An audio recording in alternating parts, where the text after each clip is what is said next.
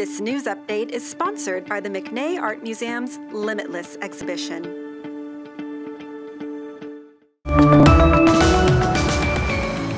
Northeast ISD says no more remote learning will take place this fall due to a lack of funding from the state.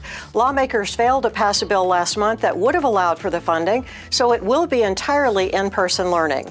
A Texas prison unit will house illegal immigrants likely to be arrested in Governor Greg Abbott's renewed enforcement of the border. The unit in Dilley will start transferring prisoners this week to make room for the immigrants as a holding facility. It's called Operation Lone Star. And San Antonio ranks ninth in the country in terms of hazardous duty for U.S. postal workers when it comes to dog bites.